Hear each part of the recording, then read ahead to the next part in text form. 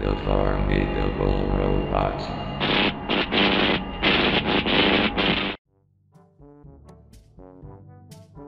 Hey there folks, it's me, Tobiko Studios, owner of the Formidable Robot channel. Today for this Creepypasta Fails video, I have found another shitpasta submitted to the Lost Episode Creepypasta Wiki, formerly known as Geoshia's Lost Episode Wiki. And oh god, there's no way we are going back to the Geoshia era because of this story. This story however was called Cartoon Network Hamazon Incident 2003 this, this is just as worse as the other shit pastas from the Spinpasta Wiki. Anyway, is Hamazon even a word for this story? Well, I've now heard of Birkat Hamazon, which is Hebrew for grace after meals or the blessing of the food, and it's about bread and other sorts of food from the five grains. I don't know, and I'm not trying to be discriminate or anything, it's like a Jewish Thanksgiving. But I won't go into detail about that, let's get on with this story. Before I begin, this is only made for constructive criticism and was not meant for bullying nor hate. I'll read out the author's note first. This is not meant to be a copycat of any stories by Random GD Player, nor the Nickelodeon resignation incident. I was inspired and I do not claim ownership of any of the mentioned stories in any way. Okay, I can see that. But this story has many, many problems. There seemed to be a heavy usage of commas in any paragraph, and a period at the end. Not to mention the randomized capitalization, which is that same problem from that shitty bluey creepy pasta I have made a video about. Without further ado, let's start the actual story. On November 4, 2003, a hijacking occurred on Cartoon Network. Before the hijacking, Cartoon Network was airing a episode of The Moxie Show, which was the first episode. Wait, isn't the Moxie show lost media? Well, I haven't watched any Cartoon Network show until 2013 when I was 10, and that's when I got into shows like Regular Show, Adventure Time, and The Amazing World of Gumball. Anyway, there was supposed to be an N in place of the A before the word episode, which had a vowel sound at the beginning. Yet, this is even worse than not capitalizing the I. This was during Cartoon Network's classic cartoons block. Oh my fucking god. There's supposed to be a K at the end of the word block. I don't know, maybe it was a spelling error, or it was just spelled like that on purpose. Just as Moxie was finishing his sentence, the screen cut to black. Then text appeared on the screen saying, This is the time of a nightmare forming. Say goodbye to your parents and loved ones. Then, the screen cut to a picture where SpongeBob is dead, with his blood splattered on the wall. Really? SpongeBob on Cartoon Network. In a television hijacking like this, on a fucking channel where it airs shows like the Powerpuff Girls and Ed Edd n Eddy, of all shit. SpongeBob was a Nickelodeon and Paramount show, and it was never owned by Cartoon Network and Turner Broadcasting goddammit. Anyway, that doesn't make it seem scary, it was just lazy. A creepy distorted face, which people believe that the face belongs to Jeff the Killer, is hung up on the wall. What a good way to reference an extremely popular creepy pasta that is not good to begin with. Also, in this screenshot, I forgot to mention that face looks nothing like Jeff the Killer. Granted, it had the creepy mouth you'd see from Smile Dog or even a creepier version of the Jeff the Killer picture. Hell, this mouth was overused in any scary picture online whatsoever. The eyes of the face were cut out and placed onto a light brown table. Fuck, you misspelled table.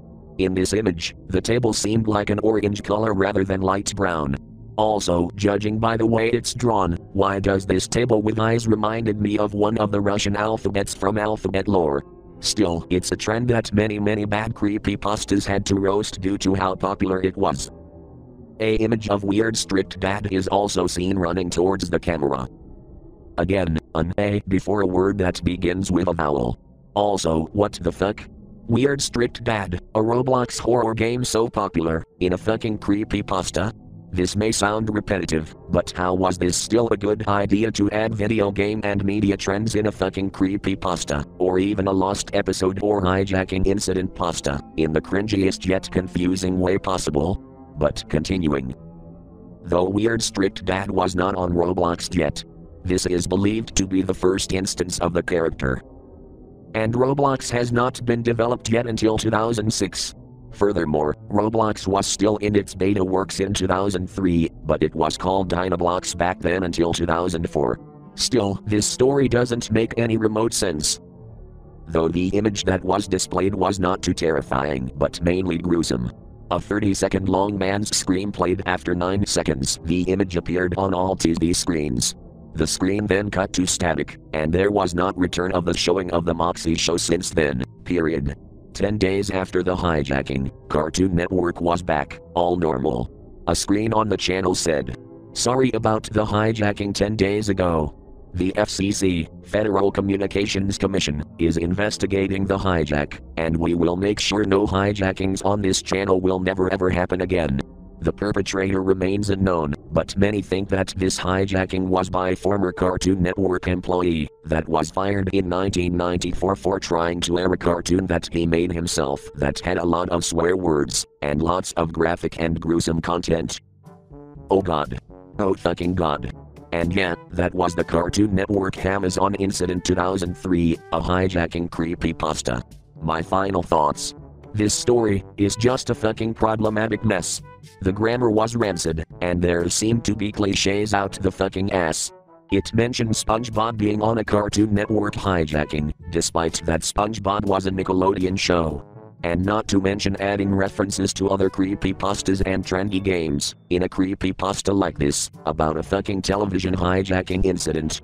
Still, it lacks any sense of being an original story. Anyway, I find the ending to the story to be completely passable. And I don't even know what was that cartoon this former CN employee made back in 1994. Moving on, let's get into the other notes. For safety and privacy reasons, I won't mention the author's name in this video, because I don't want people to start attacking this person, just for a badly written story. This creepypasta is not meant to be spam, and especially not meant to be a troll pasta. I was inspired by random GD player to do these kinds of creepypastas, and I am, kind of, original. Well, I severely doubt that, but it still had the aforementioned problems. By the way, let's address the elephant in the room, or most importantly, the screenshot on the page. This was most likely made in Microsoft Paint or something, despite that MS Paint was blacklisted on this wiki. It was in a plain yet eye burning red background, with the dead SpongeBob with blood, the hanging so called Jeff the Killer face that looks nothing like Jeff the Killer, the light brown but orange table with the face's eyes, and strikingly enough, weird strict dad from Roblox. A beautiful masterpiece that no creepypasta fan had ever seen. Yeah, that was the image. Oh, and last but not least, I found out after refreshing the page, the story is pending deletion. I have saved two screenshots of this page existing, including the pending deletion one. I might have to read this out. This page may be subject to deletion by an administrator for the following reason spam, terms of use violations, spin offs slash blacklisted stories, unfinished pages, and troll pasta. Of course, I'm glad it's getting deleted due to how bad this so called original creepypasta was. And to be fair, I will not rate this story a low or negative number, even if it's candidate for deletion. To end this off, this is my opinion.